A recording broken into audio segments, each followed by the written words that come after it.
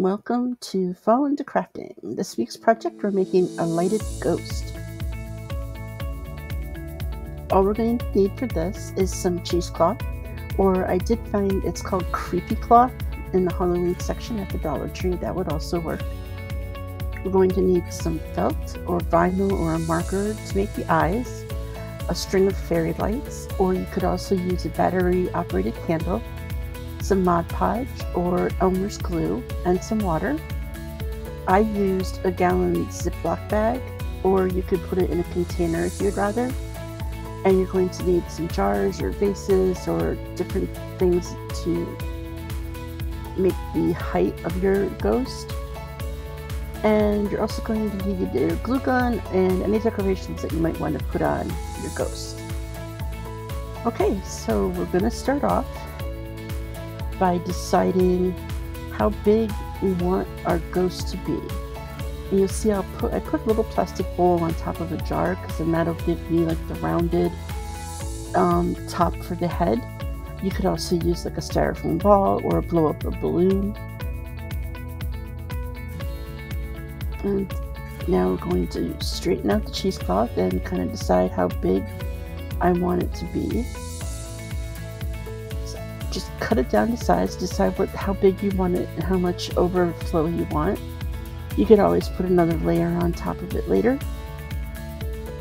And then I stuck the whole thing on top of some styrofoam and I put in some dowel rods where I want the arms to be.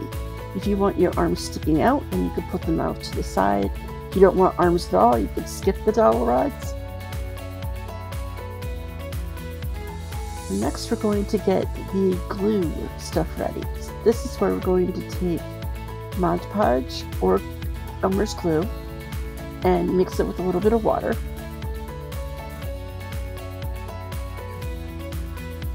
You're going to use two parts of the glue Mod Podge and one part of the water.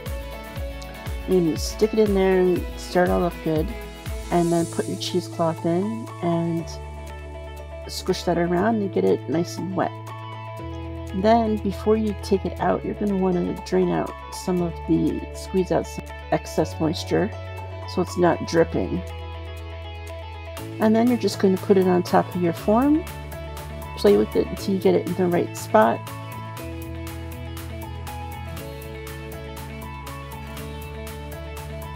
Don't forget your arms.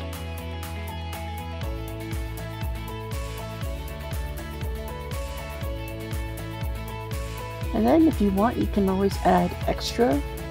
Um, on mine, I actually pulled, I had the two layers of cheesecloth. I pulled the layers apart to make them a single layer and then put both layers on. Plus I actually did another piece of the cloth just to give it a little extra.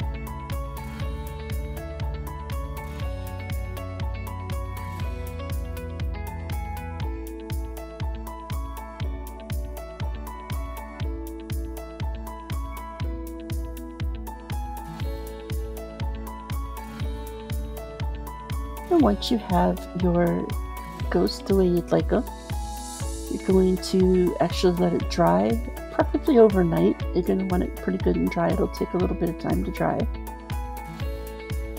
And then once it's dry, we'll start taking it apart.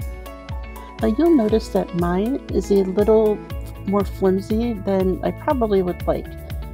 Um, if that happens to yours, you could get a bottle of um, fabric stiffener and just spray it down. But mine was good enough. The bottom edges were a little um, still damp. So I just kind of fluffed it all out the way I wanted it. And um, it'll continue to dry. So I decided I wanted to put this little pumpkin in the hands of my ghost. So this I got from a Dollar Tree spray so I just made a stem for it because it had a long stem. And then figured out how to stick it in the hands and with some hot glue, glued it in there.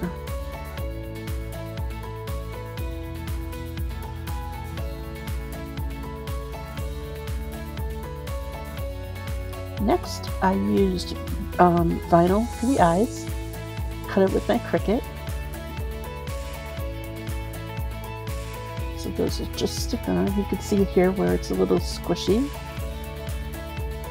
And I later went in up and pushed from the inside so they would stick a little better.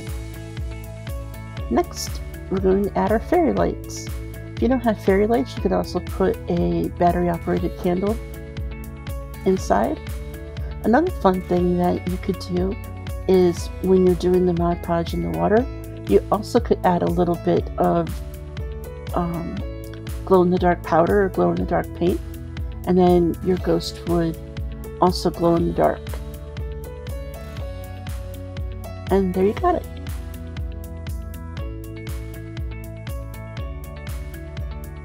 Thanks so much for joining me around the craft table again today. Don't forget to like, share, subscribe, and follow, and hope to see you again next week.